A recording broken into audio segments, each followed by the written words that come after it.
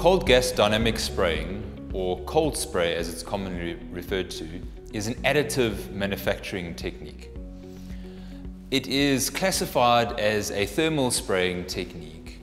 However, due to the fact that you do not melt the powders or bring them close to melting point, the process is considered cold.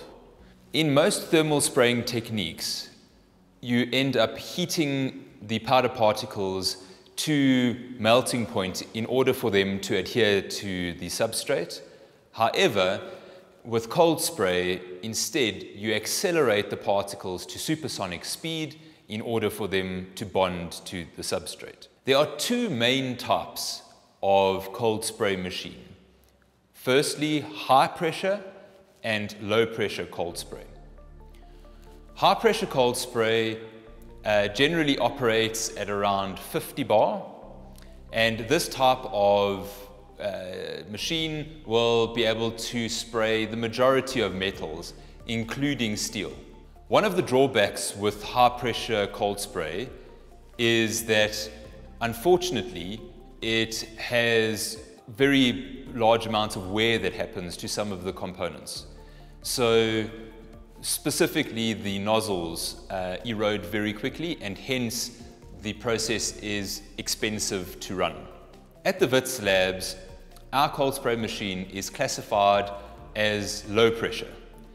Low pressure cold spray machines tend to be better at spraying ductile materials such as zinc, magnesium or copper. There will still be some level of wear uh, at the lower pressures, uh, but nowhere near as much as with the uh, high pressure cold spray machine. This specific cold spray machine operates generally at around 10 bar and if you use a um, pressure booster that sits behind the machine, you can boost it to 18 bar. Cold spray operates by generating pressure using a compressor. That pressure is then piped to a nozzle, specifically a de Laval uh, converging diverging nozzle. When the air uh, passes through the de Laval nozzle, it accelerates to supersonic speed. Into the nozzle, a powder feeder will feed uh, very finely ground powder particles into the supersonic component of the jet. This is generally post-constriction. Those powder particles are then carried in the supersonic uh, flow to supersonic speeds. Those powder particles then impinge on the substrate and will start to build up layers. The kinetic energy uh, contained within these powder particles causes adiabatic shear instabilities to form at the point of impact uh, where the powder particle impinges on the substrate. This causes micro welds to be formed and the particle will then adhere to the substrate. It's important to note that the powder particles do not melt. Uh, it is more of a sintering process that occurs. There are some interesting applications regarding remachining damaged components. When you are dealing with helicopter gearboxes, often what happens during operation is that one of the components starts to wear or some damage occurs to one of the components which causes the entire gearbox to be thrown away. Now these gearboxes are generally made of magnesium or magnesium alloys. And unfortunately, they are exceptionally expensive. So if wear happens, they just get thrown away. However, with cold spray, what happens is you can build up layers of material on the damaged spot and then you can take it for remachining and the gearbox then can be put back into use whereas before it would simply have been wasted. There have been some interesting projects that have happened within the WITS lab.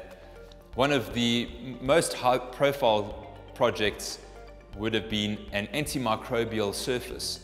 uh, that was created by cold spraying copper.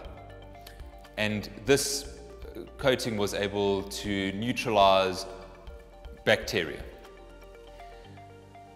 Another really interesting process that was investigated here was creating hyperporous materials. Now, porous materials have many applications, including in catalysts. The students created hyperporous materials by mixing two different metal powders together, cold spraying them, and then selectively dissolving one of the metals. And this would leave gaps where the dissolved metal was. And it created exceptionally porous materials, which is fantastic. Another interesting project that was done here was creating multi-layer low-pass filtering uh, using cold spraying. In this project, what occurred was uh, using skin and proximity effects, high frequency signal was pushed into resistive layers of the multi-layer conductors, reducing the amount of high frequency signal moving through the conductor. Cold spray is a relatively new technology. And as a result, divergent research can be done um, to figure out which specific items most benefit from the cold spraying process. The cold spray machine has two distinct booths you have the manual hand gun, which sits in this booth. It's not often used due to the fact that you can't accurately uh, create an offset off of your uh, substrate. And offset is something that is quite important when you're trying to get reproducibility of results. Um, on the other side here, we have an automatic gun, which uses um, an XY coordinate robot that uh, will move it in the X and Y plane. Um, you will, if you want to adjust offset, it is a manual process where you have to uh, undo certain screws and shift the gun downward. In order to spray, or the way that this all operates, I'll just explain to you how this all works.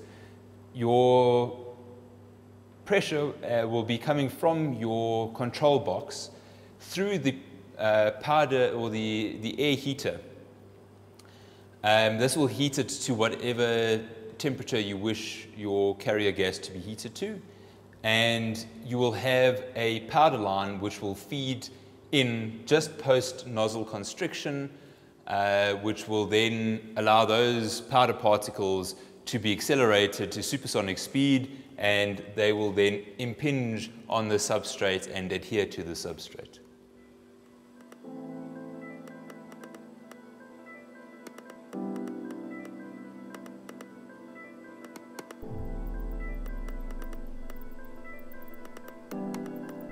So if you want to initialize the compressor, there's a couple of steps that you have to follow. If there is an error message that is displayed on screen, you will need to uh, cancel the error message like this. You will also need to make sure that the pressure requirements that the cold spray machine uh, requires will be met. Um, and after that, you will need to press the green engage button like this. Another thing that you need to pay attention to when operating this machine is that the emergency stop is disengaged because if the emergency stop is engaged like that, um, the machine will not run. In cold spraying, it's important to have dry compressed air that uh, mixes with the powders. This is due to the fact that if there is moisture in the compressed air, it tends to wet the powders and it causes them to clump together or agglomerate. So you have to ensure that the air dryer is switched on before you operate the machine.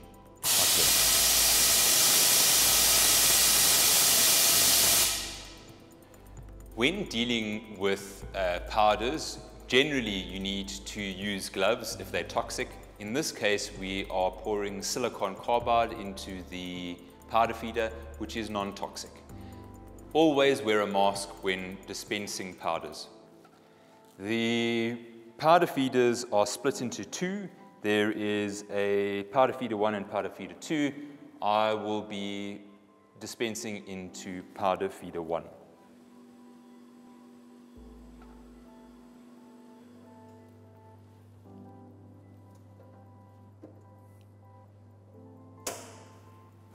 I'm busy now setting the parameters of the machine. I've just set the temperature. I'm now going to set the feed rate, which is a percentage, 60 should do.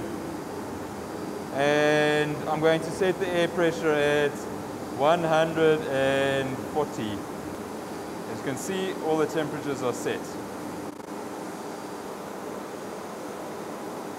Okay, we're just going to switch the nozzle on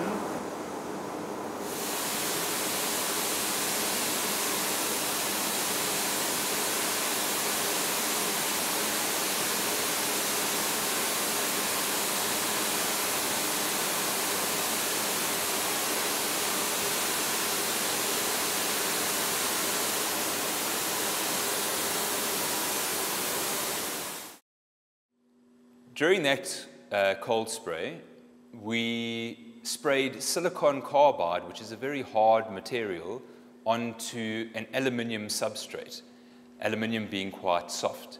It's important to note that you aren't going to be able to build up layers uh, using this technique because silicon carbide is not a ductile material.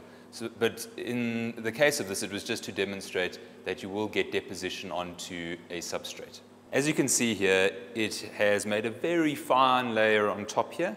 If you had to uh, put this under an electron microscope, you would see uh, wedging happening into the surface of the aluminium. When you're dealing with spraying copper, you will have a distinct thick layer that will form. I'd like to say thank you for watching and hopefully we will get you involved in some interesting cold spray projects in the future.